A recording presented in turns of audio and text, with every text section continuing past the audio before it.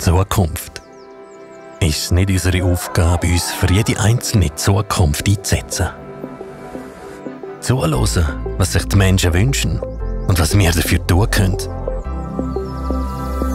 Die Lisa will einmal Astronautin werden, denn da hat sie gelernt, nach den Sternen zu greifen. Der André will kein Astronaut werden, aber seine Gegner auf den Mond schiessen. Die Vivi will immer den richtigen Ton treffen. Marina gibt lieber den Ton an. Für einen nachhaltigen Planet.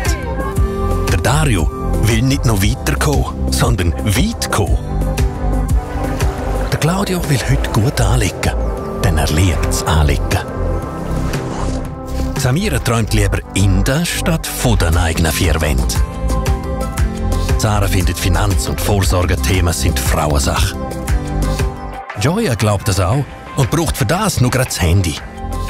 Die Binja schafft gerne. Und der Dominik sorgt dafür, dass das auch ihr Vermögen macht.